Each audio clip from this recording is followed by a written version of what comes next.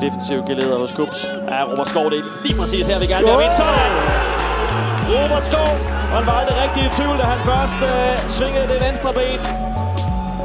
Ja, han maser sig igennem på en eller anden forunderlig måde og afslutter over det lange hjørne. Ja, det er ikke kønt, men det er effektivt. Og scoring til 2-0 til FC København. Ja, det bliver skov, der smasker det deroppe i målhjørnet. Tak for kaffe. Skal det lyde herovre fra Sikke.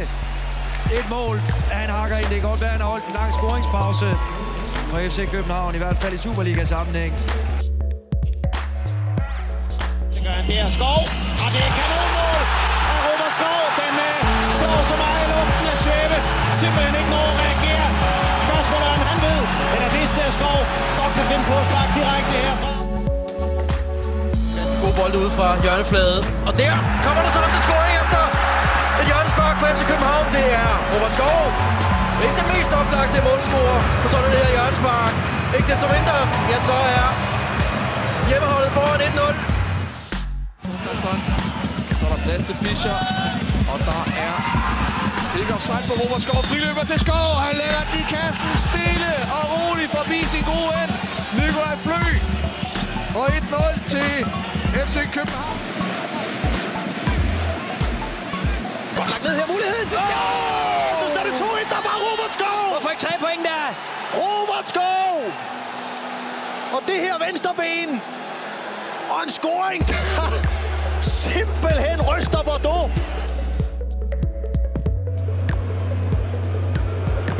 Og Skov. Ja, de råber skyd til ham, og han kan jo altså gøre det, og det gør han også. Og det brækker i luften, og brækker på en underlig måde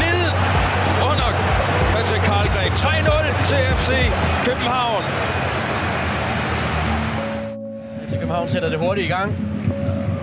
På Skov, han har udmærket betingelser. Her scorer han til 2-1. En mand, der er brændt varm i FC København, tror jeg, lige for tiden. Og på et par minutter er den her kamp er fuldstændig på hovedet. Kigger efter sin medspiller, hvor i enden. Ser vi i første omgang med Fischer. Nej, det bliver Robert Skov, der træder op her og sparker dygtigt, sparker flot! Sparker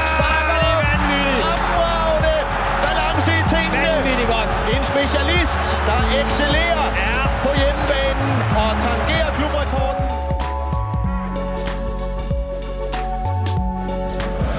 Andersen, nyt tip, Julesgaard. Robert Skov, han vil gerne løse det skud Ja. derfra. Skov!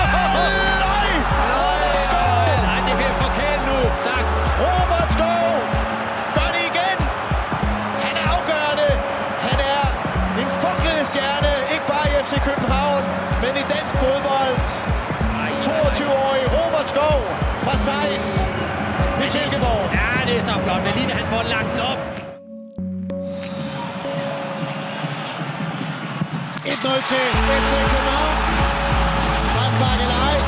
Scoringen tæller. Og det er en af de lysende stjerner på den københavnske fodboldhimmel, der I første sekund, Robert Skov spiller den forbi ham.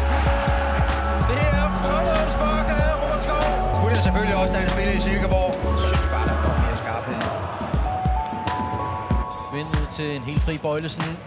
Ligger noget med det, Horsens spillerne, og så er det Skov. Øj, det er godt sparket. Og når han har så god tid med venstrebenet, så er det den største naturlighed, at han scorer endnu en gang.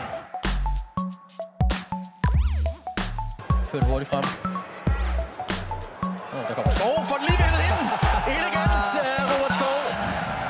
jeg får lov at stå.